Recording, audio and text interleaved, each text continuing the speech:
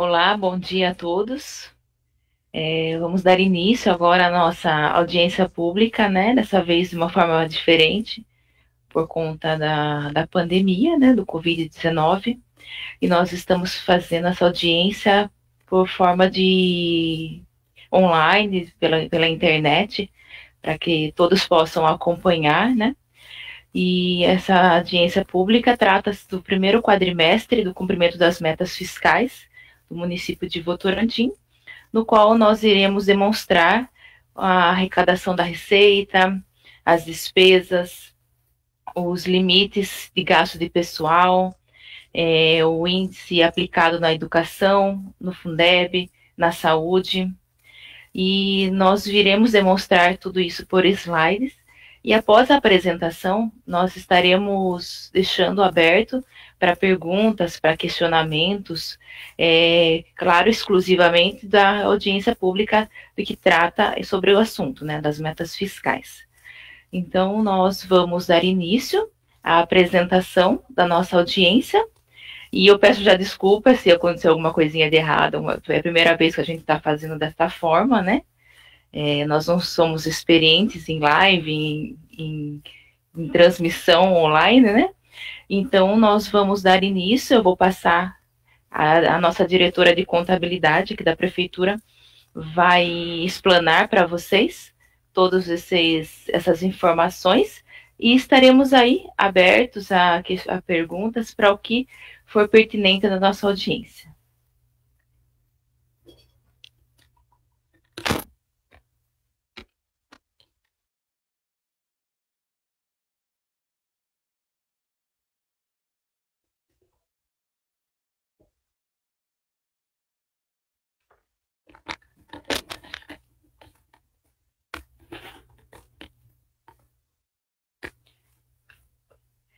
Olá, bom dia a todos. Meu nome é Angélica Caneco, sou a diretora de contabilidade. É, e hoje estamos aqui para apresentar a audiência é, da avaliação das metas fiscais relativas ao primeiro quadrimestre de 2020, é, que normalmente né, é realizado na Câmara Municipal, mas que devido à pandemia do Covid-19 e das recomendações de isolamento, né, é, não estamos podendo realizar de forma presencial. E, é, como é de costume, estamos aqui de forma virtual, né, na página do Facebook da Câmara, é, por ser esta, inclusive, uma exigência da própria lei da responsabilidade fiscal, é, onde diz que é, essa demonstração deve ser feita na Casa Legislativa. É, bom, antes de, de começar, eu peço a gentileza de quem estiver assistindo deixar o nome completo e o cargo, né, ou profissão, é, nos comentários aqui, tá ok? É, então, vamos começar, só que agora eu vou deixar somente a imagem dos slides, é, para que possam acompanhar melhor enquanto eu vou explicando.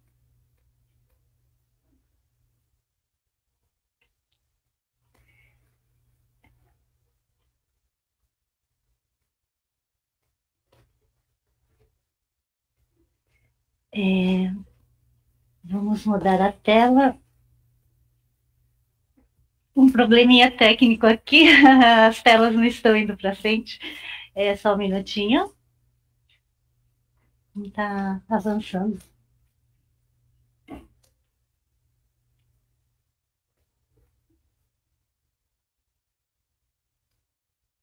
Ah, sim, agora deu certo. É, vamos começar então. É, com o objetivo dessa audiência é, que é principalmente manter a transparência das ações e avaliar o equilíbrio das contas públicas do município é, através da análise dos resultados dos demonstrativos que apresentaremos a seguir. Essa audiência, como já comentei anteriormente, é uma exigência né, da lei é, da responsabilidade fiscal, onde diz que devemos demonstrar o resultado de cada quadrimestre até o final dos meses de maio, setembro e fevereiro. É, portanto, estamos hoje, né, no final de maio, apresentando o cumprimento das metas fiscais do primeiro quadrimestre de 2020. É, vamos começar pelo balanço orçamentário, é, que é onde podemos observar se houve superávit, se houve déficit nesse período, que nada mais é do que análise das receitas e despesas. Tá? É, vamos detalhar num quadro para facilitar o entendimento. É, a receita prevista nesse período era de 144 milhões 781 mil 215 reais e 43 centavos. A receita efetivamente arrecadada de 140 milhões 130 mil 299 reais e 76 centavos. É, desmembrando essa receita em receitas correntes e de capital. As receitas correntes previstas eram de 131 milhões 994 mil 125 reais e 92 centavos, é, efetivamente arrecadadas 135 milhões 943 mil 404 reais e 94 centavos. E as receitas de capital previstas eram de 6 milhões 561 mil 987 reais e 87 centavos. E arrecadadas dois milhões oitocentos e cinquenta e seis mil trezentos e oitenta e três reais e dezenove centavos. É, pelo gráfico aqui podemos observar que no total foi arrecadado a menor do que o previsto. E, mas se observarmos somente as receitas correntes, né, que são compostas de receitas provenientes de tributos, né, impostos, taxas, é, contribuições, transferências dos estados, União, é, por exemplo, ICMS, FPM, IPVA, IPTU. É, nesse caso, foi arrecadado a maior que o previsto. Mas as receitas de capital, né, que são relacionados com recursos destinados é, especificamente aquisição de máquinas, equipamentos, realização de obras, ou seja, investimentos em geral, né? essas receitas foram bem menores do que o previsto, porque depende muito da liberação dos recursos do Estado ou pela União. Tá? É, detalhando agora as despesas liquidadas do primeiro quadrimestre, tivemos com pessoal e encargos sociais R$ reais. 883.680 reais e 43 centavos. É, outras despesas correntes, 38 milhões 249 mil 478 reais e 21 centavos. É, despesas com investimentos, 4 milhões 791 mil 89 reais e centavos. É, com amortização de dívidas e juros, 1 milhão cinquenta reais e trinta centavos, com despesas intraorçamentárias,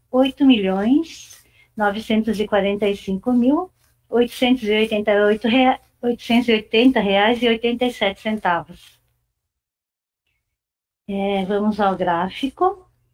É, aqui podemos observar que a maior porcentagem é com despesas com pessoal, né, 53,01%. Desculpe. É, e as despesas correntes em geral em seguida, né, com é, aqui e estão inclusas as, as despesas com aquisição de materiais de consumo, é, de serviços em geral, é, com 33,81%.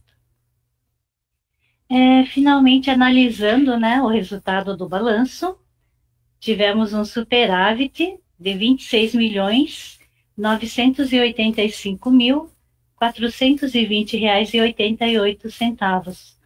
Ou seja, né, tivemos um total de quase 27 milhões de receitas maior do que as despesas nesse primeiro quadrimestre. É, em seguida, temos o demonstrativo do resultado primário, é, que tem por finalidade demonstrar a capacidade do município em honrar os pagamentos né, somente utilizando as receitas próprias. É, ou seja, aqui não estão incluídas as receitas financeiras, é, de rendimentos de aplicação, de operação de crédito, de alienação de bens, etc. Né? E no caso das despesas, não são considerados os juros, encargos, amortizações, concessões de empréstimo. Então, nesse quadro temos as receitas fiscais, é, aqui as despesas fiscais, trazendo um resumo aqui. É, nesse período, tivemos receitas fiscais líquidas no valor de 138 milhões 124 mil 448 reais e 14 centavos. As despesas fiscais líquidas 111 milhões 970 mil 128 reais e 58 centavos, é, dando um resultado primário de 26 milhões 154 mil R$ reais e 56 centavos. É, assim, observamos que esse superávit primário significa a plena capacidade de pagar as dívidas somente utilizando as receitas próprias. Tá? Em seguida, vamos ao resultado nominal, que é o balanço entre as receitas totais e as despesas totais. Aqui agora incluídas tudo que foi excluído para análise do resultado primário. Então, aqui entram os rendimentos de aplicações, é, operações de crédito, as despesas financeiras com juros, amortização de dívidas, etc. É, e esse demonstrativo é uma análise horizontal, tá? Ou seja, ela analisa a variação do resultado líquido uh, no período ou seja, é um comparativo da situação atual tá, com o final do exercício anterior, no caso, dezembro de 2019. Então, em dezembro de 2019, nós tínhamos uma dívida consolidada de 19 milhões 3 mil 773 reais e 47 centavos. É, total de deduções, né, que somando os, os ativos e haveres, 22 milhões 883 reais 865 é, 883 mil 865 reais 59 centavos, uh, dando uma dívida fiscal líquida de 3 milhões 880 mil 192,12 negativos. A situação em abril de 2020, dívida consolidada de 20 milhões R$ 20.008.442,47. é, total de deduções R$ 57.307.800,42, dando uma dívida fiscal líquida de R$ 37.299.000 R$ 357,95 negativos. Tá? O resultado negativo aqui não é um resultado ruim, é porque significa que o total de ativos e haveres é maior do que a dívida total que temos. Então, é, quanto mais negativo, melhor. Resumindo, é, temos a situação em dezembro de 2019, é, na casa de 3 milhões 880 mil, é, em abril de 2020, na casa de 37 milhões 299 mil, tudo negativo, dando um resultado nominal de 33 milhões 419 mil 265 reais e 83 centavos negativos. Então temos que no período de janeiro a abril de 2020 é, o resultado nominal foi de 33 milhões negativos, é, só que esse resultado negativo significa que, comparando o resultado em 2000, em dezembro de 2019, é, houve uma diminuição né, da dívida consolidada líquida no período, ou seja, é um bom resultado. É, diferente do resultado primário, que o ideal é ser positivo, aqui o ideal é ser negativo. Então, eles têm tendências opostas, né? Ou seja, quanto mais positivo for o resultado primário, menor o resultado nominal e vice-versa. É, agora vamos à análise dos limites. É, existem algumas exigências legais sobre os limites né, de gastos com pessoal, com saúde, com educação, com Fundeb. É, e estaremos analisando aqui cada um deles em seguida. É, começando com as despesas de pessoal. Aqui nessa demonstração temos a evolução das despesas com pessoal nos últimos 12 meses, tá? pois essa análise é feita considerando sempre os últimos 12 meses. Para esse cálculo, o limite com o pessoal, né, temos o total de despesas menos as deduções é, o valor que nós vamos considerar com despesas com pessoal é de 167 milhões 241 mil 401 reais e 83 centavos. Continuando com esse cálculo, né, esse limite considera analisando o quanto esse total de despesas com pessoal significa em relação à receita corrente líquida né, que temos nesse demonstrativo é, que assim como as despesas de pessoal, consideramos sempre os últimos 12 meses. É, trazendo num quadro resumo, né, receitas correntes nos últimos 12 meses é, foi de 387 milhões 576 mil 593 reais e 31 centavos. É, as deduções, né, que são as contribuições do servidor ao regime próprio de previdência social, receitas de compensação de previdência, ganhos com aplicação financeira do regime próprio, é, Fundeb, é, totalizando deduções né, de 50 milhões 468 mil 152 reais e 27 centavos, dando uma receita corrente líquida de 337 milhões 108 mil 441 reais e quatro centavos. Em seguida temos o relatório de gestão fiscal. E aqui vamos analisar então o índice de limites com gastos com pessoal. Então, né, a receita corrente líquida na casa de 337 milhões 108 mil. E uh, despesas totais, né, com o pessoal, 167 milhões 241 mil 401 reais e 83 centavos, que né, corresponde ao percentual sobre a receita corrente líquida de 49,6106%. É, a lei da responsabilidade fiscal, em seu artigo 22, né, no parágrafo único, é, estabelece para os municípios um limite prudencial né, de gastos com pessoal em cargos de 51,3% da receita corrente líquida. No caso, seria aqui de 172 milhões.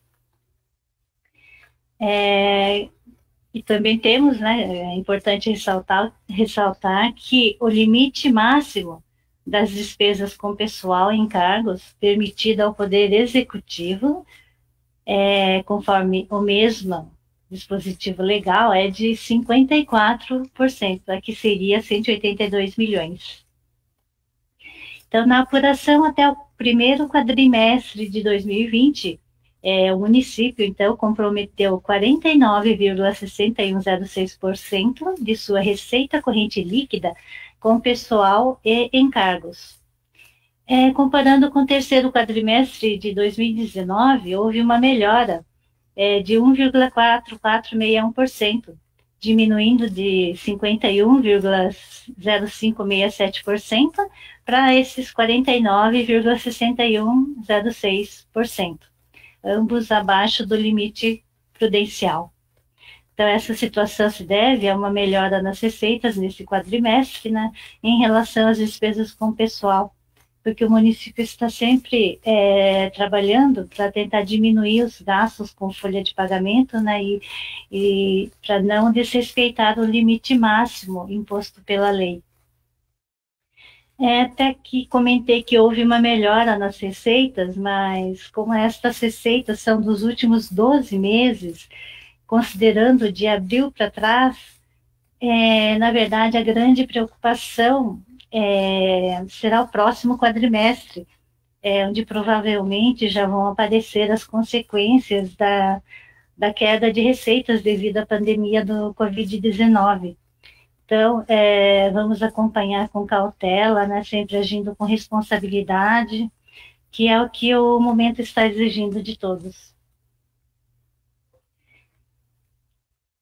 É, vamos passar agora para os limites da educação, né, começando com a análise do quadro Aplicação dos Recursos Próprios em Ensino.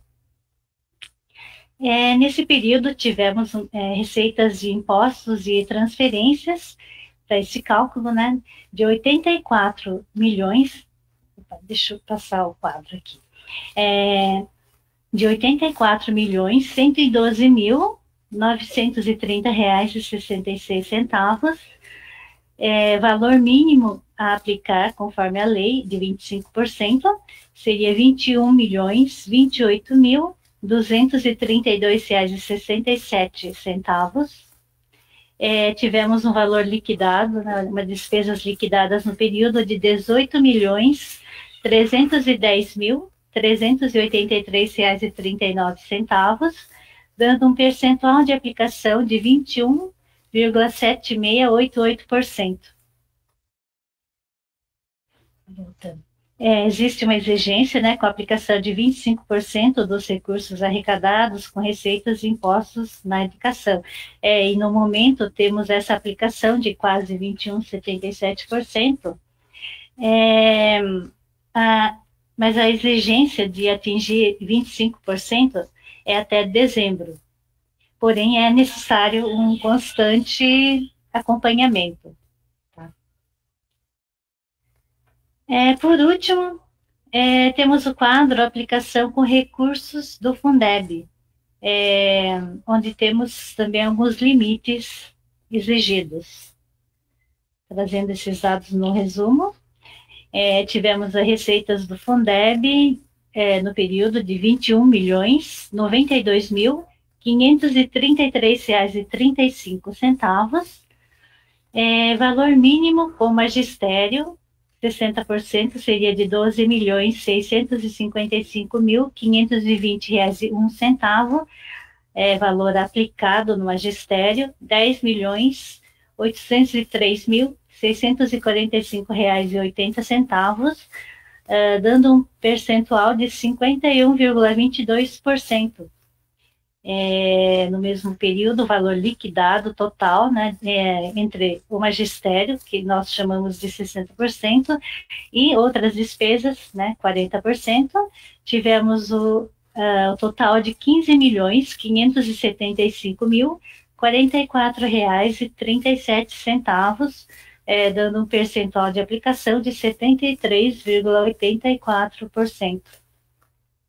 É, os limites do Fundeb, é, é, o principal é essa exigência de atingir 60% né, com o magistério. É, no momento estamos com 51,22%. É, mas assim como no caso do anterior dos 25%, a exigência é atingir esse índice de 60% até o final do ano. Tá? É, também temos a exigência de se aplicar pelo menos 95% né, do total arrecadado de, no, no, ano, dentro do ano, é, e po, é, podendo ficar 5% para o próximo ano, né, como parcela diferida, é, que deve ser é, utilizado até dia 31 de março do ano subsequente. No momento, estamos com 73,84% porém também temos até o final do ano para atingir essa aplicação, e, mas assim como os outros índices, é necessário um acompanhamento né, e ações constantes para que para chegarmos no final do ano cumprindo todos os limites. É, temos também o um limite de 15% de aplicação em saúde, é, mas deixo essa parte para ser analisado na audiência da saúde que teremos logo em seguida, a partir das 11 horas. Tá? É, lembrando mais uma vez, assim, quem estiver assistindo, por favor, deixe o nome completo, o cargo, profissão aqui nos comentários, por favor, tá? É... Esqueci de voltar aqui, saindo da tela.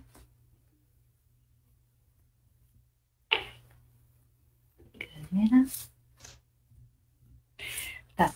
É, assim estamos encerrando a apresentação das metas fiscais, né, do referentes ao primeiro quadrimestre de 2020. É, muito obrigada pela atenção de todos. Passo a palavra novamente agora à nossa secretária Jéssica.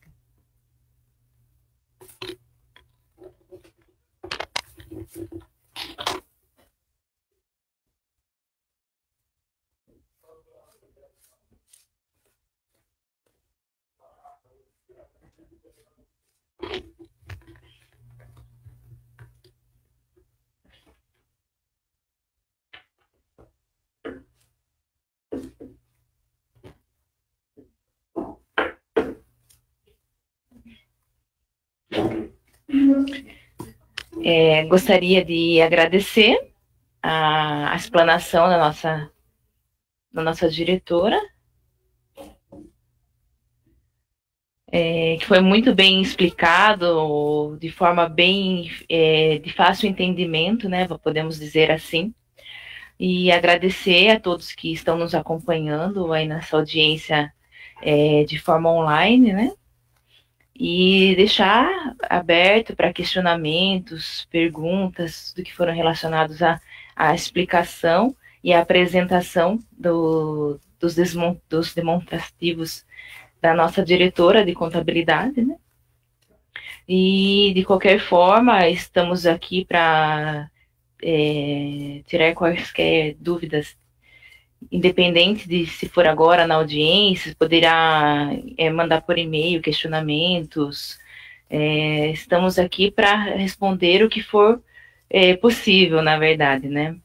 E fica a nossa preocupação também, já é, emendando o que a nossa diretora explanou, né, sobre a receita, que nós tivemos uma arrecadação até março, vamos dizer assim, é, considerável com o que nós havíamos previsto, mas quando nós elaboramos o orçamento, né, não, não imaginávamos que estaríamos enfrentando uma pandemia nesse ano, né? Então nós já, já sentimos o reflexo em abril, uma queda na arrecadação, e sabemos, né, que, que possivelmente teremos nos próximos exercícios também, né?